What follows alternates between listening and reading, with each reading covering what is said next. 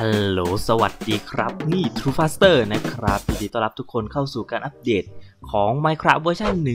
1.17 นะครับ Cave and Crypt Update ใน Snapshot ตัวที่21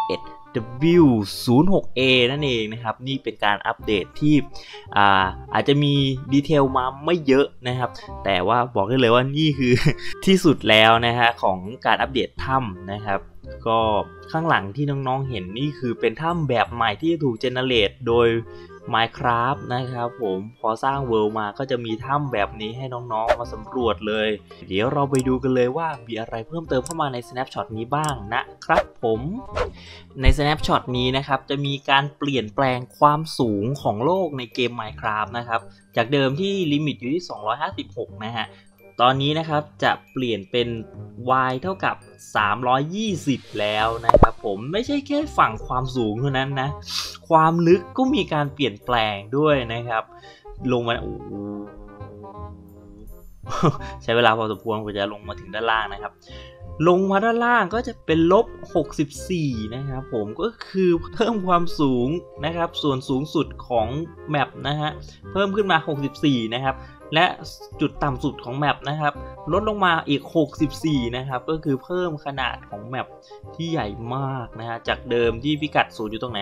นี่ครับพิกัด y เท่ากับศูนย์อยู่ตรงนี้ครับ เดิมทีตรงนี้ต้องเป็นเบสร็อกละเนี่ยโซนนี้ต้องเป็นเบสร็อกหมดแหละนะครับ เบสร็อกถูกย้ายลงมาอีก 64 บล็อก ข้างล่างนี้เลยนะครับผมลึกมากๆนะครับแปลว่าตอนนี้เราขุดกันมันแหละตอนนี้ Minecraft นี่เป็น cave update จริง ๆ และถ้ำเนี่ยเต็มไปหมดเลย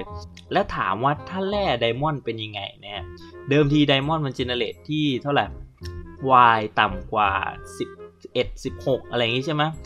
ตอนนี้ผมลองอ่าเคลียร์พื้นที่ดูนะครับก็ปรากฏว่าเจอ diamond ที่ต่ำกว่า y 0 ด้วยนะครับผมแต่นี้เป็น y ที่ 18 นะ เออผมเข้าใจว่าน่าจะแบบ y generate ที่ระดับ y เท่าเดิมอะแต่ถ้าเกิดต่ำลงมากว่านี้ก็สามารถเจอได้นะครับ อย่างตรงนี้ y 18 ใช่ไหมอันนี้เป็น y 26 นะครับ นี่ต่ำมาจนนี่เลยนะครับ y 4ลบ40 กว่า ลบ 45 อะไรอย่างนี้นะครับ ก็สามารถเจอกันหมดได้นะครับ แปลว่าเราจะได้รีสอร์ท เพิ่มขึ้นเยอะมาก ไอคลิปที่ผมสอนทำสอนหาไดมอนด์น่ะคงต้องไปทำใหม่ซะแล้ว พอเข้ามาดูในหน้า World นะครับ ก็จะสังเกตเห็นว่าทุก World นี้เราจะไม่สามารถกลับเข้าไปได้ในเวอร์ชั่นเก่าๆเนาะที่ไม่ใช่ Snapshot ตัว 21W06A นะครับ จะไม่สามารถกลับเข้าไปได้นะ เพราะว่าความสูงของโลกมันคนละระดับกัน เขาก็เลยป้องกันตรงนี้เอาไว้ก็ดีเหมือนกันนะครับ ก็จะได้ไม่ต้องตกใจเนาะ ใน Snapshot นี้นะครับ ทางโมแจงได้เอาวิธีการคำนวณการ generate ถ้ำแบบใหม่มานะฮะ โดยตั้งชื่อให้ว่า noise cave นะครับผม ก็มันไม่ได้มีเสียงอะไรหรอกนะ noise เนี่ยจริงๆแล้วมันเป็นวิธีการคำนวณการ generate แบบ perin noise นะครับผมเป็นวิธีคอมพิวเตอร์ generate imaginary นะครับเป็นการ generate ภาพ 3D ของคอมพิวเตอร์ประเภทหนึ่งนะครับ ก็เป็นสูตรคำนวณอีกแบบหนึ่งก็ถูกนำมาใช้นะครับ โดยจะมีเขาตั้งชื่อการ generate ถ้ำแบบใหม่อีก 2 ประเภทนะฮะ แบ่งเป็น 2 ประเภท นั่นก็คือแบบชีสสวิตชีสนะครับ ก็คือเหมือนเหมือนเป็นชีสอะ มันจะเป็นรูๆพลวงๆนะครับ เห็นปะลักษณะจะคล้ายๆกับว่าถ้ำตรงนี้มันเป็น กลมๆเป็นพลุงๆเป็นรูๆครับแล้วก็เอามาต่อต่อต่อกันกลายเป็นถ้ำอะไรเงี้ย กับอีกแบบหนึ่งเขาเรียกว่าเป็นสปาเกตตี้เคฟก็คืออย่าอย่านึกถึงแท่งเส้นสปาเกตตี้แท่งเดียวที่มันตรงๆนะ นึกถึงตอนที่มันเอาไปลวกแล้วแล้วเสร็จแล้วขดอยู่ด้วยกันอะไรประมาณนั้นอะ เออ อันนี้ก็ยากที่จะนิยามเหมือนกันแหละ อีกตัวหนึ่งที่น่าสนใจนะครับก็คือเรื่อง Mind Shaft นั่นเองนะครับถ้าเกิดว่า Mind Shaft มันเกิดมาโผล่ในพื้นที่โล่งนะครับ เพราะว่าไอตัวถ้ำแบบชีสเคฟนะครับมันจะค่อนข้างโพลงค่อนข้างที่จะแบบโล่งอะเออ มันจะเป็นโพรงโล่งๆนะครับ เพราะฉะนั้นแล้วเนี่ย ถ้าเกิดว่าตัวไมชาร์ปมันโผล่มากลางอากาศนะครับ มันก็จะมีสิ่งหนึ่งเพิ่มเข้ามาก็คือตัววูดนะครับ เป็น ตัวไม้เนี่ยมาค้ำในแต่ละชั้นเอาไว้นะครับ เพิ่มเติมจากเดิมเนาะเดิมทีเราจะเห็นวูดนี้แค่ตรงเขาเรียกว่าเป็นทางแยกสี่แยกนะครับ ตอนนี้ wood ก็ถูกเพิ่มเข้ามาให้มาค้ำยันชั้นต่างๆนะครับ ถ้าเกิดว่ามีอากาศเป็นช่องว่างนะครับผม และถ้าถามว่าพวก ravine พวกอะไรพวกนี้ยังอยู่ไหมก็ยังอยู่นะครับเนี่ยครับ ravine ตรงนี้ก็ยังอยู่นะครับแล้วมันก็สามารถที่จะ generate ทับกันได้ตัดกันได้นะครับพวกไอ spaghetti cave กับตัว cheese cave เนี่ยมันก็สามารถมาตัดกันได้ เกิดเป็นรูปแบบใหม่ใหม่ขึ้นมาได้นะครับผม แล้วก็จะสังเกตเห็นว่าเอ๊ะทำไมน้ำมันเยอะจังเลยนะทำไมน้ำมันเยอะจังเลย คือมันก็เป็นถ้ำอีกประเภทหนึ่งนะครับที่ถูกตั้งชื่อว่า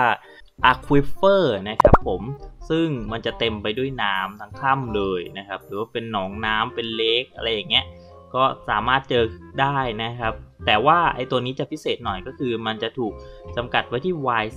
31นะครับผมซึ่งตรงนี้ได้ไหมอันนี้ก็ต่ำกว่า y 31นะครับ มันก็จะสามารถเจอได้นะครับผมในถ้ำที่เต็มไปด้วยน้ำแบบนี้นะครับ ก็เป็นถ้ำในลักษณะใหม่ที่เกิดขึ้นมาเหมือนกัน น้องๆรู้ไหมครับ คำว่า drift เนี่ย D R I P เนี่ย มันจริง ๆ มันเป็นศัพท์แสลงที่แปลว่าใส่ชุดเท่ๆหล่อๆนะครับผมถ้า big dip lift นี่แปลว่าใบไม้ที่ใส่ชุดเท่ๆหล่อๆอันใหญ่นะครับ ไม่ใช่ละใน snapshot นี้นะครับตัว big dip lift ก็มีการอัปเดตเพิ่มเติมมานะครับ ก็ถ้าจำได้นะครับคราวก่อนเนี้ยใน snapshot ตัว 15A นะครับ ถ้าไปยืนบน big dip lift สักพักหนึ่งมันจะหดใช่ไหมเอ้ยมันจะงอตัวเขาเรียกว่าอะไรปิด เขาเรียกว่าหล่น เออ นั่นแหละ น้องๆเข้าใจนะครับ แต่ถ้าเกิดว่าเรากดชิปแล้วไปยืนนะในตัวก่อนมันจะไม่หล่นถูกต้องปะแต่ถ้าเกิดในเวอร์ชันนี้ล่ะ หล่นนะครับ มันจะไม่สนใจเรื่องการย่อตัวของเราแล้ว รวมถึงวิธีการโกงเรือกระโดดอะกระโดดรัวๆ มันก็ไม่มีผลแล้วนะครับผม วิธีการป้องกันไม่ให้มันหล่นนะนั่นก็คือใช้เลสโตน ไปแปะเอาไว้ ซึ่งเป็นไอเดียที่โคตรจะดีเลยนะครับ แต่ปัญหาคือมันมันไม่ค่อยเมคเซนเท่าไหร่นะเอาไฟฟ้าไปใส่ในใบไม้เนี่ยนะครับ มันไม่หล่นนะครับ จะสังเกตเห็นว่ามันไม่หล่นนะครับ แต่แอบมีเสียงเอฟเฟกต์ว่ามันมันจะหล่นอยู่นะก็นั่นแหละก็เป็นอะไรที่ดีมากเลยนะครับ ก็ถ้าเกิดว่าทำ map parkour อะไรอู้น่าจะสนุกมาก ที่สำคัญคือ ถ้าเกิดว่าเราเป็นแบบเล่น map parkour แบบแกล้งคนอื่นนะ ในเวอร์ชันนี้นะครับถ้าเราปา snowball ไปหรือ projectile อะไรก็ตามนะครับ มันจะไอตัว Big Dripleaf มันจะหล่นลงมาอย่างนี้ มันจะหน้างอคอหักลงมาอย่างนี้นะครับ พูดเป็นนี่เลยอะไรวะพูดเป็นไอประตูเลยนะครับหน้างอคอหักนะครับ ยิงธนูก็ได้ก็ล่วงเหมือนกันนะครับ ผมเจ๋งมากนึกสภาพแบบไปสร้างแมปกระโดดแล้วเราก็เป็นฝ่ายแกล้งนะฮะเอาอ่าสโนบอลไปปาอะไรเงี้ยโอ้คงจะน่าสนุกโคตรเลยนะฮะ อีกอันนึงนะครับที่เวอร์ชันก่อนพี่ทำให้ดูไปนะครับ แล้วก็เป็นอย่างที่คาดไว้แล้วจริง ๆ ก็คือถูกแก้ไปแล้วนะครับ ตอนนี้นะครับ Big Dripleaf ไม่สามารถที่จะทำลาย bedrock ได้แล้วนะครับ แปลว่าลาก่อนนะครับ วิธีการที่ทำที่ทะลุหลังคา bedrock แบบง่ายๆใน Nether ไม่มีแล้วนะครับ เป็นบั๊กที่ถูกแก้ออกไปเรียบร้อยนะครับผม